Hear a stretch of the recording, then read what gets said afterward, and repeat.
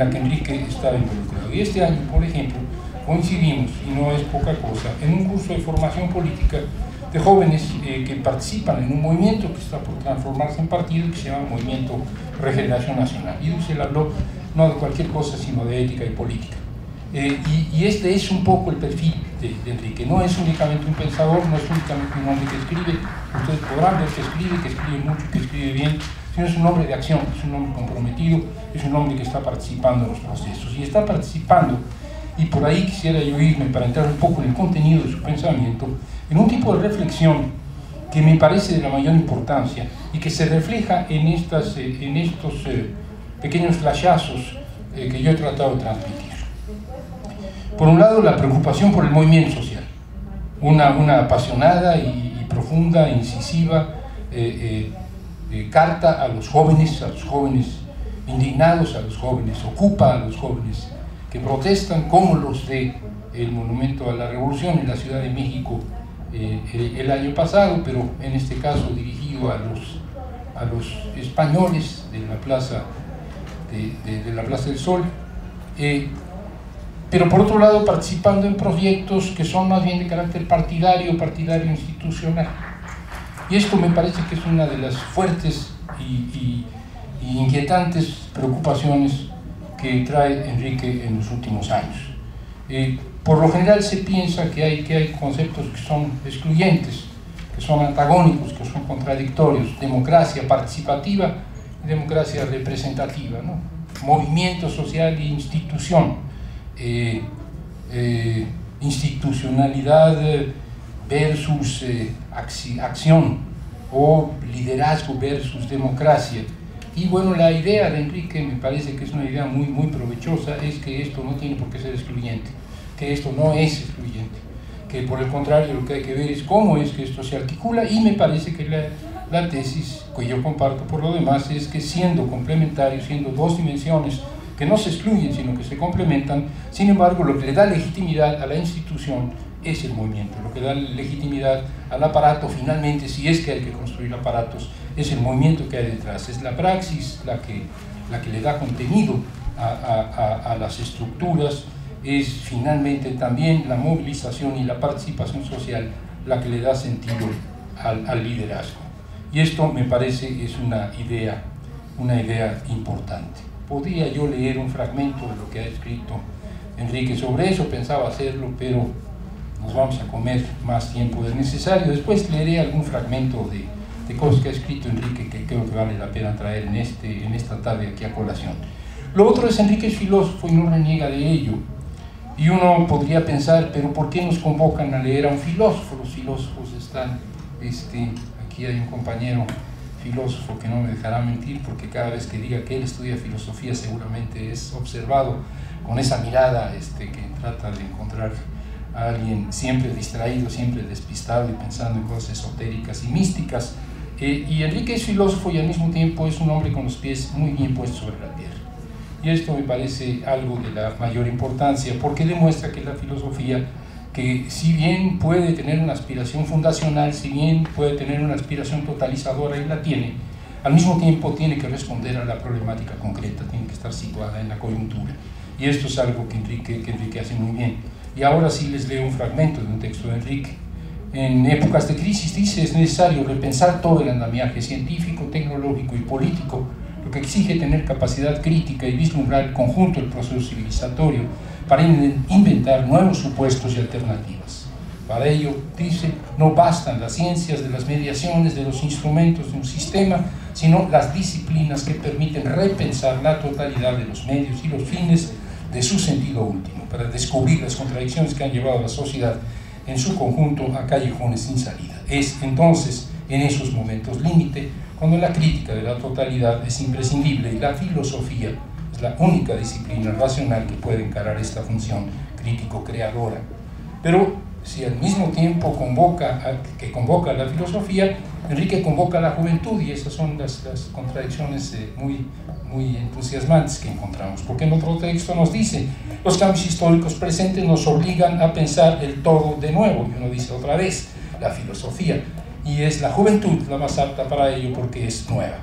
Es decir, sí la filosofía como una disciplina que nos permite preocuparnos por los fundamentos, tratar de refundar la historia, tratar de refundar el pensamiento, tratar de refundar la praxis, pero también los actores sociales de esta refundación, y creo que Enrique eh, coincide con, con, otros muchos en que uno de estos actores sociales es, eh, son los nuevos jóvenes, y los viejos jóvenes, también algunos viejos jóvenes, de aquí ya vemos algunos, este, que quizás podamos seguir colaborando mientras duremos. Eh, y sobre esta participación de, de, los jóvenes, me gustaría simplemente dramatizar con un ejemplo que se me ocurre ahora, esta, esta preocupación de Enrique por la combinación entre el movimiento y la institucionalidad, por la participación y la representación. Eh, por un lado, creo que, que, lo que vivió la universidad de la que es ahora rector emergente, decía yo, poniéndole el apellido emergente, gratuito porque no es así, rector en el pleno sentido de la palabra, pero la universidad de la que rector padeció una situación complicada que obligó a que muchos de sus eh, jóvenes estudiantes y, docentes se movilizaran, una movilización, una fuerte movilización, una huelga, una prolongada huelga, una dura huelga, una, huelga donde hubo enconos, donde hubo eh, agresiones de todo tipo, eh, un movimiento pues. Y ahora lo que hay es una reinstitucionalización. y en esta función de reinstitucionalizar algo que eh, en un periodo pasó por una etapa, diríamos, de movimiento, de movilización, es una tarea que está emprendiendo Enrique. Yo creo que es la dialéctica en la que Enrique está involucrado. Por un lado, sí, hay que aplaudir a los movimientos, hay que celebrar que los jóvenes de la UACM hayan defendido su universidad y los maestros de la UACM hayan defendido su universidad, pero ahora es de nuevo necesario pensar en la reinstitucionalización. Es una tarea que Enrique, que Enrique está haciendo. Esta combinación de movimiento sí, pero institucionalidad también, es algo que creo que lo caracteriza. Y quisiera terminar para que tuviéramos oportunidad de escucharlo también a él y de ver algo de este, de este material que hoy se les ofrece, con eh, algo que lo ubica mucho en la coyuntura. Esto fue escrito hace quizás seis o siete años. Eh, no es que, que, que, tenga una bola de cristal y que pueda leer el futuro, pero estoy absolutamente convencido de que lo que voy a leer ahora que fue escrito hace quizás eh, seis o siete años es absolutamente actual. Escribió Enrique entonces, es irracional y falto de ética conceder la propiedad del petróleo. No hay ninguna necesidad de alienar la propiedad del petróleo, es de sentido común. Esta suma de decisiones irracionales es simplemente corrupción política porque los que ejercen el poder institucional, senadores, diputados, presidente, gobernadores, etc., era otro, el presidente, cuando se escribía esto, han olvidado que no son la sede del poder político, sino simples representantes que ejercen un poder delegado en nombre de la soberanía popular. Olvidándolo, piensan que pueden decidir todo a espaldas del pueblo. Por el contrario, una consulta popular, decía entonces, una consulta popular se justifica plenamente en tan importante asunto, pero ellos no la desean porque les desarmaría todo el juego. Y continúa y concluye, sería bueno llamar a cierta cordura, a imponerse un cierto límite de la simple honestidad ciudadana y pedir que se consulte al pueblo, entre comillas, en esta situación tan grave. De lo contrario, concluye, no sé si ahí sea tenga bolita de cristal o no, de lo contrario el pueblo tendrá derecho a entrar en acción. Eh, estas son eh, las expresiones de Enrique que ustedes van a encontrar aquí y otras mucho más, mucho más, eh, diríamos, intelectualmente sofisticadas, menos eh, aterrizadas en la coyuntura, porque vuelvo a, insistir en ello, eh, eh, Enrique combina las dos cosas, combina la capacidad de reflexión en el más alto nivel filosófico con la, digamos, terrenalidad de un pensamiento en coyuntura y de un hombre con los pies sobre la tierra. Esto es lo que les ofrece hoy la UAM como posibilidad y esto es algo de lo que seguirán hablando eh, primero entiendo este, Miguel Ángel, no lo sé, y finalmente Enrique, y si queda tiempo podremos también charlar un poco más con ustedes. Gracias. Muchas gracias, tío Armando.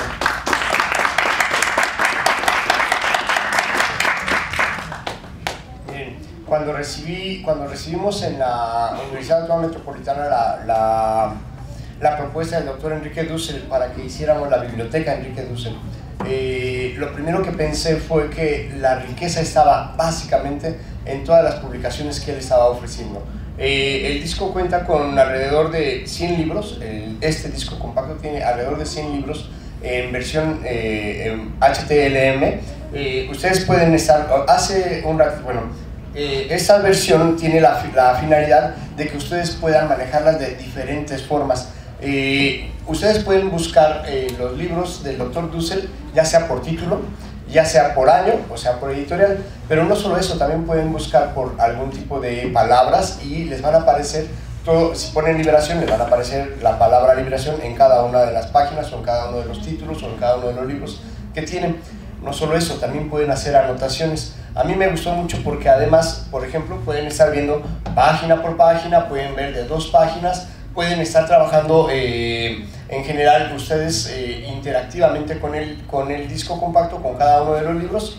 Eh, se respetaron siempre las versiones originales de los libros, por lo cual ustedes podrían hacer una cita del el libro y están haciendo la cita correcta de la publicación en ese tiempo. Hagan de cuenta libros de 1966, 1970, 75. es un libro que contiene mucha riqueza en ese sentido y tiene alrededor de 119 artículos del Dr. Dussel. También artículos de revistas, artículos de periódicos, eh, en general todos escritos por él, pero además tiene 16 estudios de otras personas que han trabajado respecto de la obra del doctor Enrique Dussel.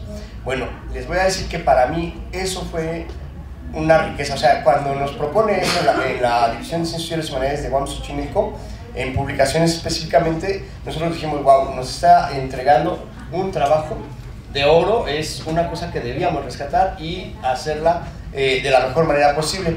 Eh, al mismo tiempo, lo vieron ustedes hace un momento, eh, le estaban pasando fotografías, imágenes del doctor Dussel en diferentes etapas de su vida. Y eh, yo como editor, como editor del disco, también de la biblioteca, en un principio sentía que, bueno, no, no entendía bien a bien de dónde, para qué las imágenes, para qué las fotografías. Eh, conforme fuimos trabajando con el texto, bueno, con los textos, cuando, conforme fuimos trabajando con la biblioteca, eh, me fui dando cuenta de por qué este hombre es, es quien es y además porque él tenía una visión muy clara de todo lo que quería en esa biblioteca, qué es lo que les quería entregar a ustedes, sus lectores, a nosotros, sus contemporáneos, sus ciudadanos, su pueblo, qué es lo que nos quería dar. Eh, también tiene, y les voy a decir que eso es es bellísimo. Son una serie de 10 video, videoconferencias, de entrevistas básicamente. 10 eh, entrevistas que son excelentes y a mí me gustan porque todo el tiempo se la pasa hablando él. Entonces, eh, yo me fue hora y media de estar revisando las, las entrevistas y entonces me cayó el 20 de por qué era importante unir los textos que ustedes tienen aquí de los que estaban, de todos los títulos, porque era importante tener los libros, pero también conjuntarlos con lo que eran las imágenes de la galería fotográfica y conjuntarlos con los videos.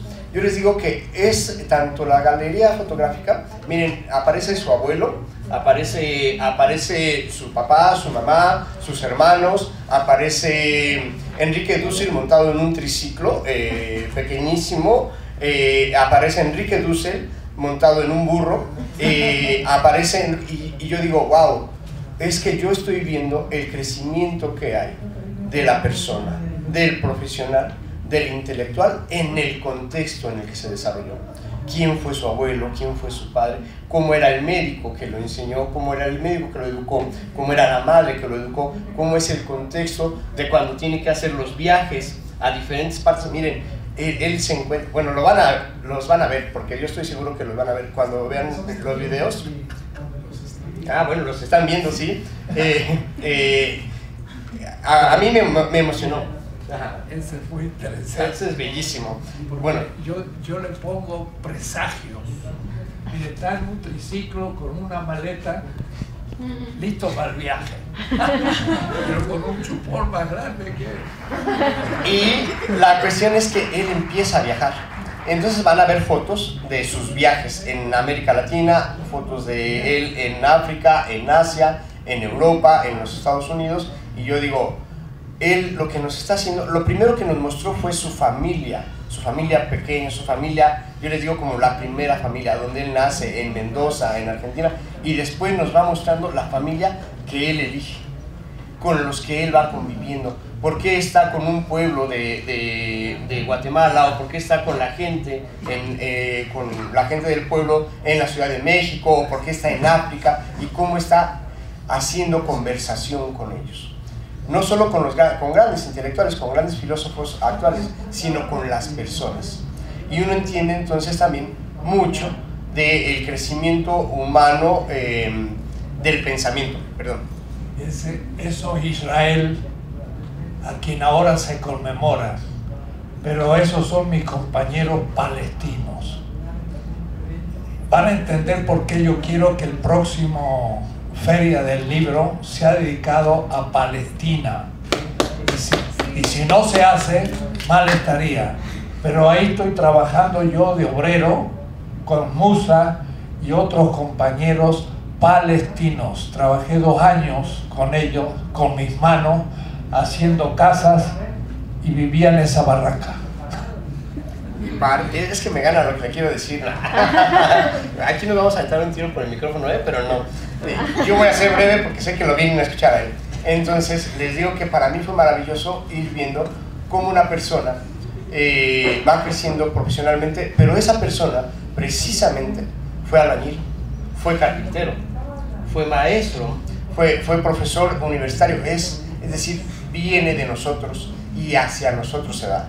Entonces, eh, al final, y voy a hacer así, con eso termino, al final lo que más me gustó del, de la biblioteca Enrique Dussel se me hace entrañable porque se, se muestra completamente el doctor Enrique Dussel cómo ha ido evolucionando tanto intelectualmente, profesionalmente, como humanamente. Y yo creo que entonces fue cuando, cuando dije, los libros, qué bueno, están ahí, los vamos a leer, están bellísimos, pero todo lo que nos entregó, además, es, hace como un trabajo redondito. Toda la biblioteca, la, no sé, en un momento pensamos en hacer obras completas, pero no era posible por muchos motivos.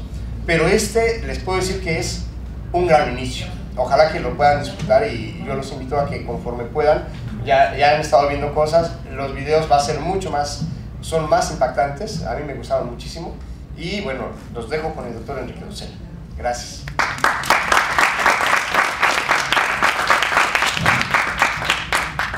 Bueno, muchas gracias por Armando, que hizo tan buena presentación y el editor. Pero yo querría decir algo así como lo siguiente. Este, esta biblioteca es como el grito de alguien, de un ahogado, que no se ahoga todavía. Porque en América Latina nos despreciamos. Y entonces nunca podemos leer las obras de nuestros colegas porque simplemente se agotan y no se editan nunca más. Entonces es casi imposible leer un autor boliviano, chileno, brasileño, imposible. Mis obras casi todas están ya completamente agotadas, el 90%. Entonces, ¿cómo hacer para que la juventud pudiera darse cuenta de todo un proceso intelectual? Entonces se escanearon las obras y se las puso en este índice, en esta biblioteca. Esta biblioteca es una vida, pero además son como 60 obras, son cientos de artículos y en solo castellano, porque después habría que poner el inglés y el francés y el alemán y demás, pero eso no aparece porque se puede ver en mi webpage, como le dicen, ¿no? Pero entonces esto ha propiciado que en muchos puntos de América Latina la gente pueda empezar a trabajar sobre nuestro pensamiento. porque tiene el corpus completo. Lo más difícil de un autor es tener toda la obra. Y entonces ahora está ya toda. Y con alguna ventaja. Porque como decías, si alguien quiere ver cómo ha trabajado a Nietzsche, pone Nietzsche y le aparece todas las veces que lo cito en todas mis obras y cronológicamente. Entonces es hasta mejor que editada en papel. Porque se puede poner en papel, porque esto se puede imprimir.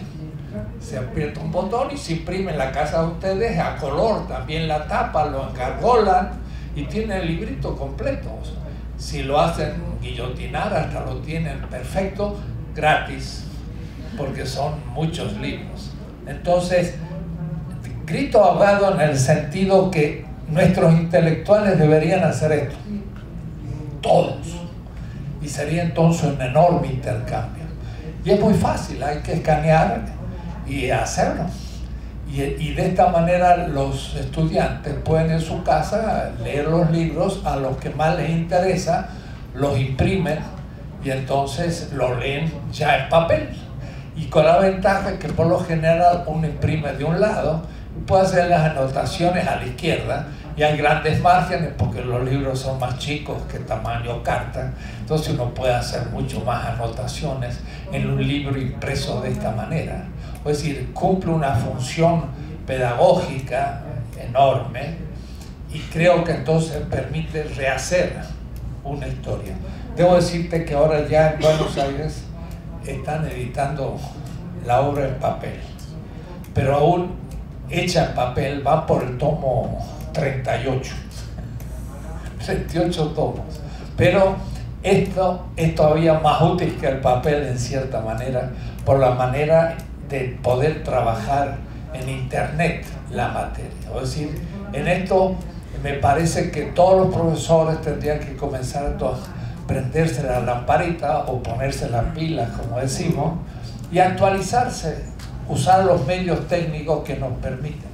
Pero además los editores de la UAM tuvieron la idea de poner adelante un pequeño folleto donde uno puede ver uno por uno el título de las obras. Entonces, si uno quiere tomar alguna, se va por año y sabe cómo se llama, dónde fue editado, en qué año, etc.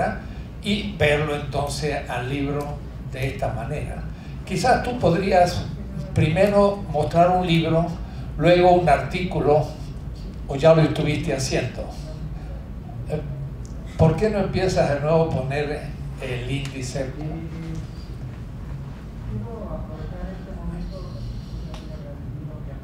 esos ya son obras de, sobre mi obra. Hay muchas obras, pero en fin, alguien que quiera hacer una maestría se le va a preguntar, pero este autor es desconocido, no se puede hacer ninguna maestría sobre esto. Es lo normal en todas nuestras universidades.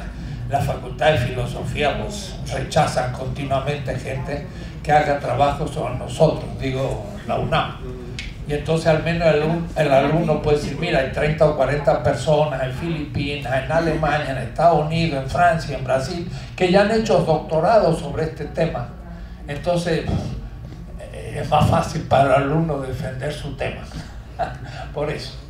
Entonces, allá a la derecha está primero libros. Entonces, eh, en los libros bueno, esta es la lista simplemente. Tomemos el primero.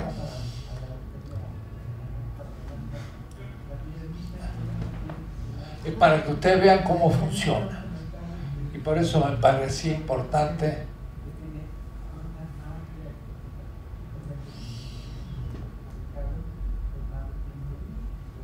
que estuviera aprendida la computadora. Está un poco lenta, pero bueno, también nos toca a todos que es lenta. Tiene que tener más gigas, pero... Es que es computadora de trabajo y... Claro. Tiene mucha información.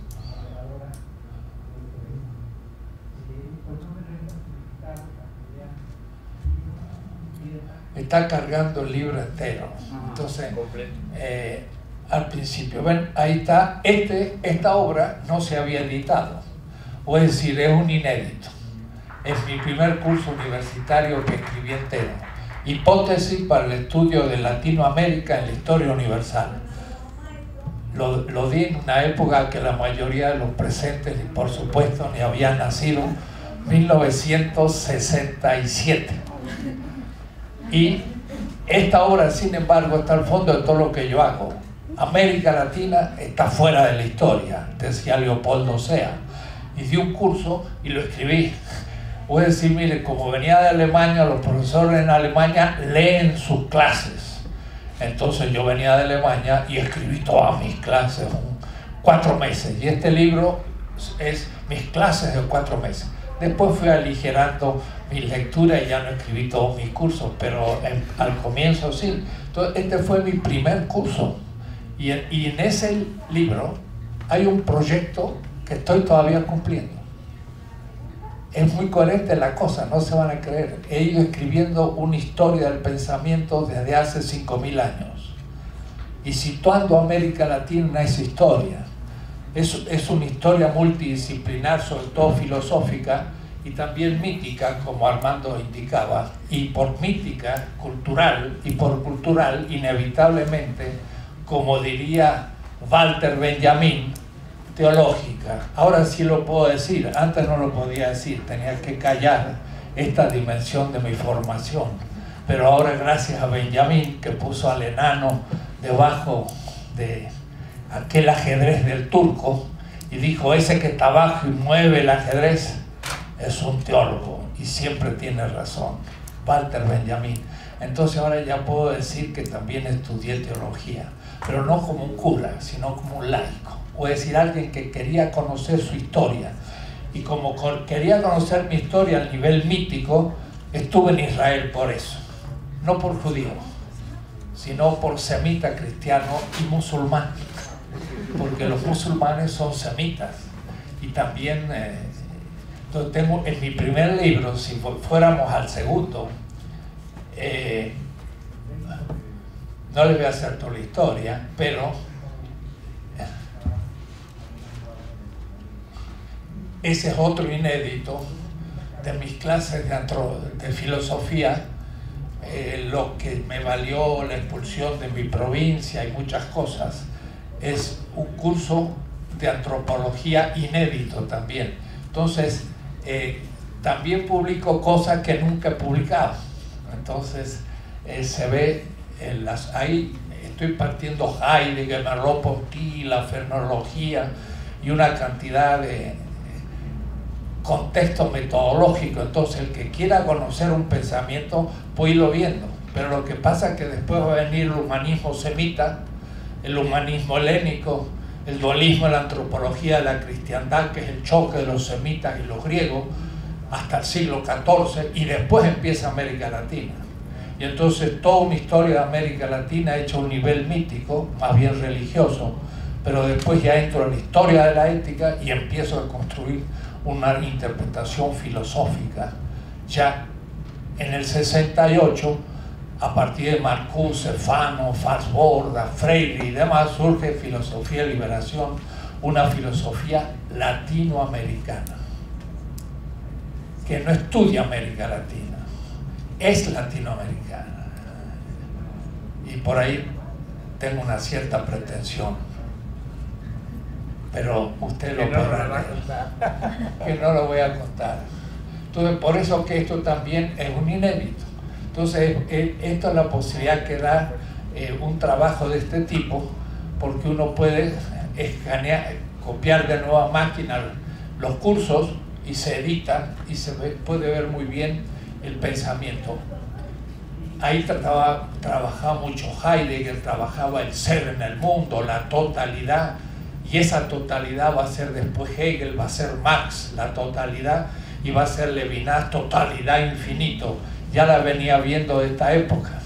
Pero como esto estaba a su vez matizado por el pensamiento semita, Levinas era un filósofo que pensaba Heidegger, pero que lo criticaba desde la experiencia semita. Y yo tenía las dos experiencias. La heideggeriana por estar en Alemania y la semita por estar en Israel. No se imaginan cuántas cosas hay detrás. Pero aquí está la historia. Y les aseguro que de lo que pienso será conocido un 30%, pero el proyecto fuerte es desconocido porque no está la obra completa que está en este índice. Entonces van a ver un trabajo de 50 años en coherencia. Y ahora estoy desarrollando la última parte, que es la política y la estética, de la que hablaremos después con Armando Bartra en su fantástico libro. Pero justamente porque me aproximo a esa etapa final. Me dice que quedan cinco minutos, pero por suerte ustedes tienen esto, así que ya lo pueden después empezar a ver de arriba para abajo. No es algo tan simple, es eh, la acumulación de una biblioteca, pero al mismo tiempo es eh, la idea de empezar a usar estos medios.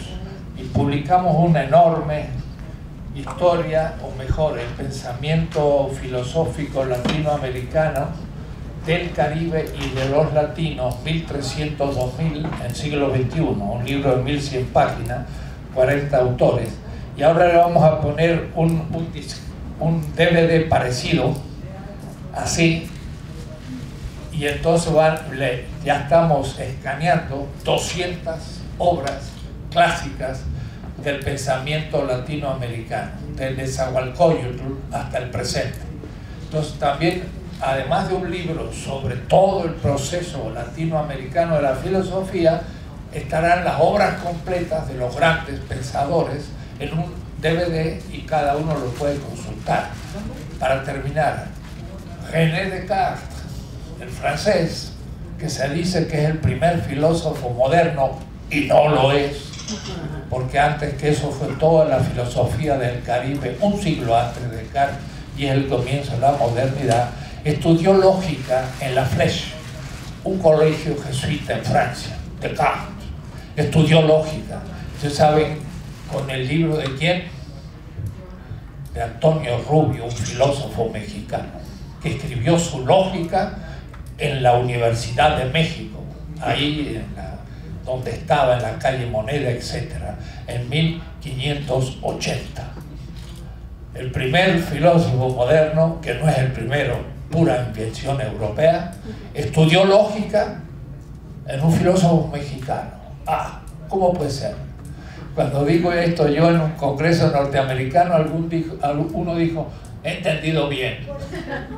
No habrá sido una confusión de, de palabras tenemos una gran historia y entonces podemos usar en esa colección de 200 obras clásicas está la lógica mexicana, se llama, en latín, de Antonio Rubio, y ustedes la pueden leer si saben latín. Y si no saben latín, al menos la pueden mirar, porque no hay traducción. Pero Descartes sí sabía latín y la estudió. Así que al menos tendrán ante sus ojos la lógica que tuvo Descartes. Esa obra no se encuentra en ninguna parte, no hay un ejemplar en México, pero va a estar en un DVD. Esa es la ventaja de la tecnología al, al servicio del pensamiento. Creo que ya se cumplió el tiempo. Me hubiese gustado la reacción de ustedes, pero... Es que, es que les, tenemos, les tenemos una propuesta vamos a continuar eh, con, vamos a estar los tres, se va a incorporar a la mesa Marinia Cortés, nada más, eh, le estamos pidiendo, y básicamente no por nosotros, sino por la gente de, de la FIL de Guadalajara, nos están pidiendo ellos si nos dan unos cinco minutitos y regresamos, no sé si tengan tiempo, vaya, ¿usted va a regresar después o ya no? Y eh, vemos lo de la presentación del libro de, de Armando Barça, a mí no no me gusta decirle doctor, eh, para mí es Armando Bartra eh, en general, porque, porque es chido conmigo. Entonces, eh, los invitamos, tomamos cinco minutos y regresamos, ¿sí? Gracias, perdón. Se vayan. Se vayan. No, no, se vayan. Vamos, vamos a acomodar la mesa y punto. Perdón.